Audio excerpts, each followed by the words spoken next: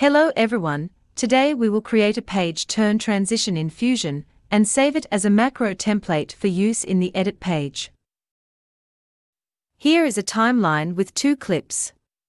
From the effect library, find and add the Fusion Cross Dissolve transition to the timeline. Right-click the transition and open it in the Fusion page, where Media in 1 is the outgoing clip and Media in 2 is the incoming clip. Delete the existing Cross Dissolve group, disconnect Media in 1 from the Media Out node, and connect Media in 2 to the Media Out. Make sure Media in 1 node is selected, click the image plane 3D, and Renderer 3D in the toolbar to add them into the editor. Merge the Renderer node to Media in 2, and we see that the first clip appears in the right viewer. Select the image plane 3D node, press Shift Space to bring up the tool selection, find the Bender 3D node and add it to the editor. Drag the Bender node into the left viewer, so that we can see the result as we adjust its parameters. In the inspector, the default type is bend, which is what we will use for this effect. Change the axis to X, and angle to 90, adjust the amount, and the image is bending along the X axis. The center value determines the base point for the bending, we can get a rolling effect as we change its value. The range control can limit the effect to only a certain part of the image.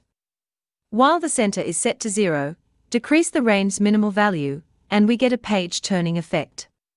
This will be the main parameter we use to build our page turn transition. Set the amount to maximum 1, and examine the bending result in the 3D viewer. Instead of a smooth cylinder, we see a polygon prism. To get a high quality cylinder result, select the image plane node, go to Inspector, and increase the subdivisions. In this case, I found 80 is good enough.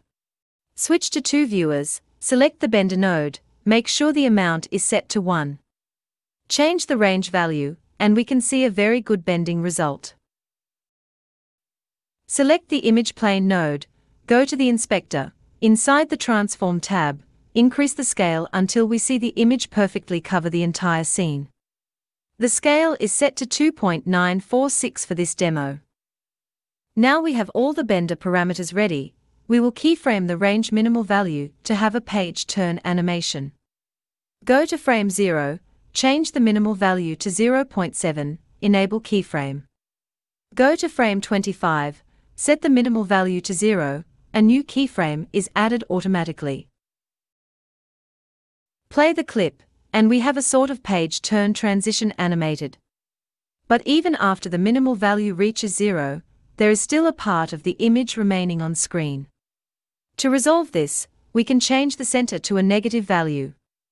At frame 25, which is the end keyframe of range value, enable the keyframe for the center parameter. Move to the last frame 29, enter minus 0.1 in the center field. Move the playhead, we see that the image now keeps rolling to the left and disappears from the scene. The page is now turning from right to left horizontally, but I'd like to have the page start turning from a corner.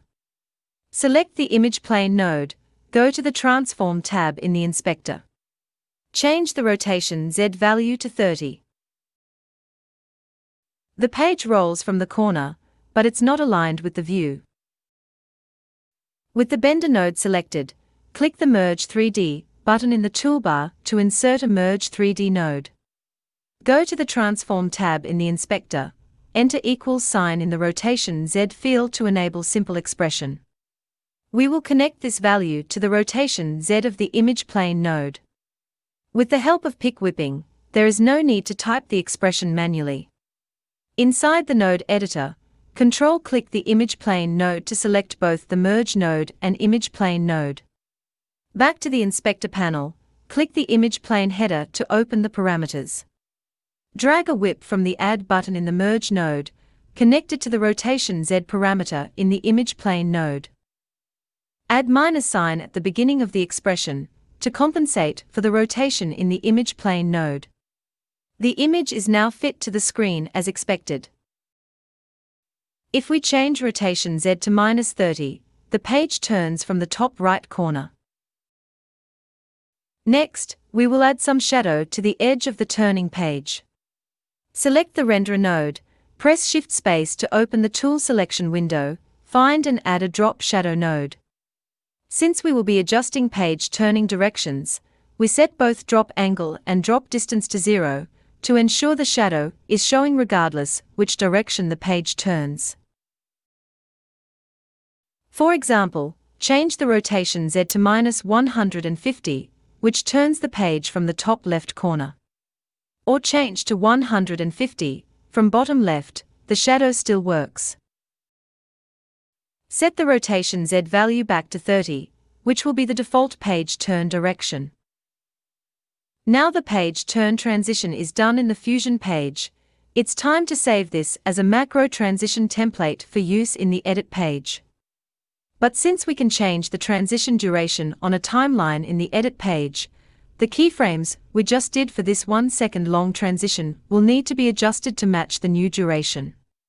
There are different ways to get this done, I've used the resolve parameter modifier in another video for a noise transition macro template. This time I will use the key stretcher modifier. Select the bender node, go to the inspector. Right-click Center Parameter, select Insert, Keyframe Stretcher. Right-click the Range Minimal Value dot, also select Insert, Keyframe Stretcher. Go to the Modifiers tab, we see that two modifiers added for the center parameter and range minimal parameter. The clip is 1 second long, set the source end to 29. Change the stretch start to 0, stretch end to 25, which is the ending frame of range minimal animation. Do the same to the stretcher of center parameter. The center parameter animation started at frame 25 after the range minimal animation is finished, so we will apply the same stretch as in the range stretcher. Play the clip, the transition still works as expected after applying the key stretches. One last thing, we can also enable the motion blur to have a more realistic transition effect. Select the renderer node, go to the Settings tab in the inspector. Enable motion blur, and it opens a few more settings to control the look and feel of the blur. Set the quality to 6, and we have a very good result but it's taking lots of resources and slow on rendering. I will turn it off for now. To select nodes for the macro, we use Control click to select the nodes in order. Make sure the image plane node is selected before the merge 1 node. The image plane will take the outgoing clip as media in 1 and the merge 1 will take the incoming clip as media in 2. Once all nodes are selected except media in and out nodes, right click and choose macro Create macro. Name the macro Essential Page Turn Transition. Export the image plane rotation Z parameter as direction. Also include shadow strength of the drop shadow node. Motion blur and quality of the renderer node. Choose Save as Group from the File menu, Save to Fusion. Templates. Edit. Transitions folder. Close the macro editor, and go back to the edit page. In the timeline, Alt drag the first clip and append a copy at the end of the timeline. Drag the newly saved page turn transition from Effects Library to the timeline between the second and third clip, and a default 1 second page turn transition is added. We can now increase the duration, just like any other transitions. In the Inspector Transition tab, we can hide the shadow by setting the shadow strength to zero. Or enable the motion blur if you want. In the direction field, we can enter any number of degrees. The default angle is 30, which is turning from the bottom right. Minus 30 is top right. Minus 150 is top left. 150 is bottom left, and so on.